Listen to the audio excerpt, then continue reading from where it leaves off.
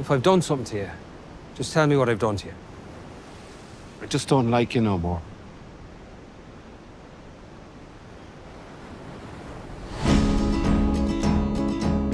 Have you been rowing? Have you been rowing? Have we been rowing? Well, you are rowing. It does look like we're rowing. You can't just stop being friends with a fella. He's dull, Siobhan. But he's always been dull. Maybe this whole thing has just been about getting you to stand up for yourself. How are you, fatty? Dancing with your dog, is it? What did you come here for? I just came to kick your door in and give you a slagging. Um, I I just have to say, I mean, I don't get a chance to talk to Martin, but he is one of my most favorite filmmakers. He is just he's such an exquisite storyteller. I, I just want to. I mean, I'm, you're the only one I could talk to about him. But can you? Uh, you've been working with him for a while now, so can you tell me sort of his process and where he comes up with these beautiful stories? I don't know. Do you know, I ask him that so many times because when I'm talking to him, it seems like a different person. I feel like he's got somebody trapped in his house that actually writes the movies. and then he just pretends he's the person who wrote them. Because I feel like, I don't know, I ask him that so many times.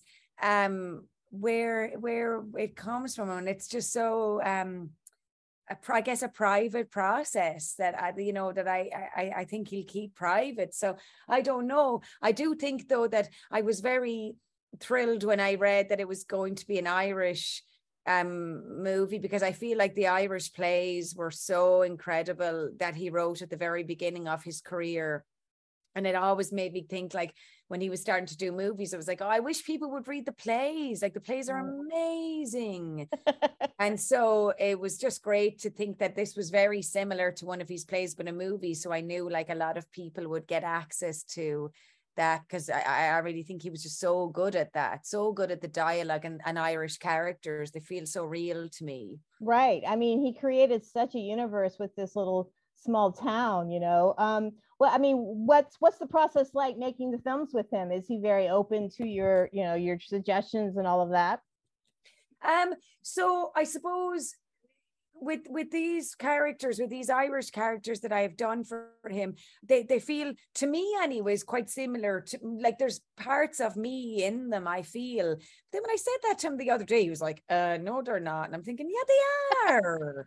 Because I'm an Irish person, so it can't be that bloody far from me. But I suppose um you know I, I kind of because i was so young when i started doing them um I, I really had no training when i started to do the plays. So i really was just going on my instinct of what i think it would i would feel like. And so i still kind of work that way with him and so I just kind of go with my instinct. And then he sort of fine tunes whatever I did and whatever physicality that I did, if he wants it or if he doesn't want it, or if he wants it in a particular line or something. He just sort of really um fixes everything kind of perfectly with lots of notes.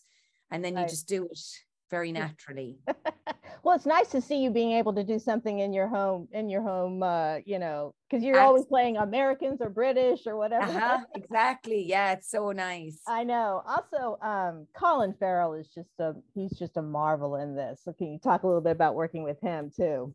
Yeah, so this wasn't my first time working with Colin, but I had worked with him before. It was super short, like, and it was years ago. Jesus Christ, it was like I think it was in my twenties or something. I can barely remember it.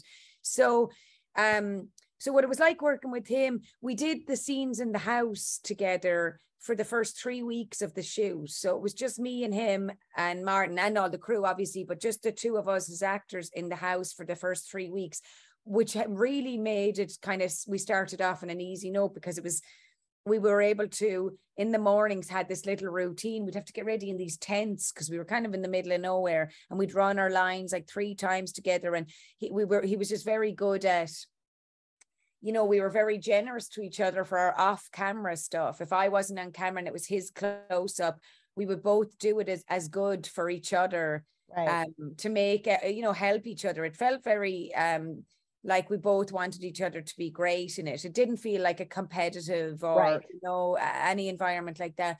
He's also a very kind person to everybody um, on the crew and puts everybody at ease. So very approachable and and it didn't feel like sometimes if you work with somebody very famous, there you kind of know when they're on set because they're just there's this ripple effect of like the famous person has arrived or whatever. but Colin is just very um sweet and approachable and not very affected. So it just made it all very easy, um, easy to be around. Right. Yeah. One last question. I just, uh, you know, because this film definitely, I walked out of the film and I was in the elevator with a bunch of people and I said, I need a feckin' drunk at a, a pub right now. And they all just start laughing. but um, what what are you what is your feelings of this film and what do you hope you know people take away with it? Well, I suppose the initial feeling, like for me, is you know, I, I know it's open to interpretation a little bit at the end, or you can kind of think about what happens to them after the end of it. But I personally think that Pádraig is forever changed.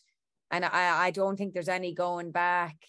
And I and I wonder, will he just be um a lonely man on his own, you know, with the with the animals in the house kind of going a bit mad forever, really, you know. Um but that that's kind of what I think. But I do hope people kind of take away an aspect of the, you know, the this the animals and the nature side of it. To me, felt super spiritual Mhm. and beautiful and pure. And it's interesting that it's Jenny that's the one that turns Pádraig. It's not Siobhan or it's not losing Colin. It's Jenny, and that Yeah. that that that is the one that changes him. And so I hope that people will take away, you know, some sort of a notion that, you know, it seems so silly to be bickering and fighting, you know, when animals seem so uh, present and, and evolved and great, you know, pr- calm in their surroundings and and godlike kind of creatures. And I think maybe if people are be a little bit more influenced by nature, maybe and the and the spiritual side of life, that maybe we mightn't be so petty, maybe. Yeah, yeah. Well, I think it's just a beautiful film. Congratulations on this. And also, I loved you in Rome. We watch Rome. We watch Rome once a year. No, oh, Do you know yeah, I've my- never seen Rome? Can you believe that? I know, but I start naked in the whole fucking thing. I don't want to see that.